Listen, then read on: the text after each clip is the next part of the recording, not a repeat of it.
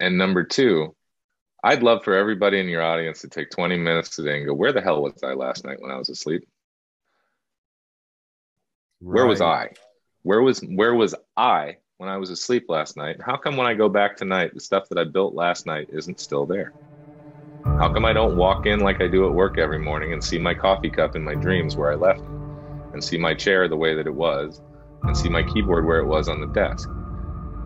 And yet, when I'm here, if I put that coffee cup out in the field, it's going to be there 75 years from now if nobody messes with it, and if the environment didn't change based on all those movements we're talking about. I wish more people would sit down and actually ask that question because most people wake up in the morning and say, I was just asleep. And if there was any aberration to that experience, it was just a dream.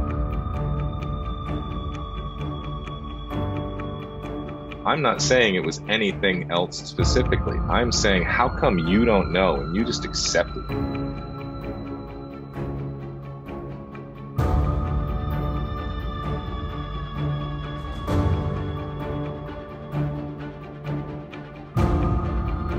perception and the way we look at not just time, but as Sean said, even in our sleep, right? We have we have we have awake and we have sleep?